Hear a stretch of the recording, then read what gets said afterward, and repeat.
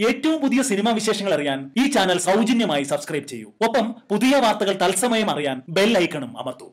പ്രശസ്ത സംവിധായകൻ I V Sasi മരിച്ചപ്പോൾ ഷൂട്ടിംഗ് തിരക്കുകൾക്കിടയിൽ വാർത്താമാധ്യമങ്ങളിൽ അനുശോചനം അറിയിക്കാൻ ലാലേട്ടൻ എത്തിയില്ലെന്നേയുള്ളൂ. പക്ഷേ അദ്ദേഹം ഹൃദയത്തിൽ തൊടുന്ന വാക്കുകൾ തന്റെ ഫേസ്ബുക്കിൽ കുറിച്ചിട്ടു. പച്ച മനുഷ്യരുടെ ജീവിതം കൊണ്ട് വെള്ളിത്തിരയിൽ ഉത്സവം നടത്തിയ മഹാനായ ചലച്ചിത്രകാരൻ. ഞാൻ അടക്കമുള്ള നടന്മാരെയും കാഴ്ചക്കാരെയും സിനിമാ വിദ്യാർത്ഥികളാക്കിയ മലയാള സിനിമയുടെ മാസ്റ്റർക്ക് എന്റെ പ്രിയപ്പെട്ട സാറിന് പ്രണാമം. ഇതായിരുന്നു മോഹൻലാൽ തന്റെ ഫേസ്ബുക്ക് പേജിൽ കുറിച്ചിട്ടത്. എന്നാൽ ഇപ്പോൾ ഷൂട്ടിംഗ് തിരക്കുകൾക്ക് വിട പറഞ്ഞ് ചെന്നൈയിലെത്തിയ ലാലേട്ടൻ ഐ വി ശശിയെ കുറിച്ച് മനസ്സ് തുറക്കുകയാണ്. ശശി സാർ എനിക്ക് ശരിക്കും ഗുരുനാഥൻ തന്നെയായിരുന്നു. സിനിമ എന്തെന്നും സിനിമയുടെ സാങ്കേതികതയ്ക്കനുസരിച്ച് അഭിനയത്തെ എങ്ങനെ പരുവപ്പെടുത്തണമെന്നും എന്നെ പഠിപ്പിച്ചത് ശശി സാറായിരുന്നു. സിനിമയിൽ ഒന്നുമല്ലാതിരുന്ന കാലത്ത് ശശി സാറിനെ പോലെയുള്ളവർ കാണിച്ച സ്നേഹവും പരിഗണനയുമാണ് എന്നെ പോലെയുള്ള നടന്മാരെ സൃഷ്ടിച്ചത്. ശശി സാറിന്റെ സിനിമയുമായി സഹകരിക്കാത്ത നടീനടന്മാരോ ടെക്നീഷ്യൻസോ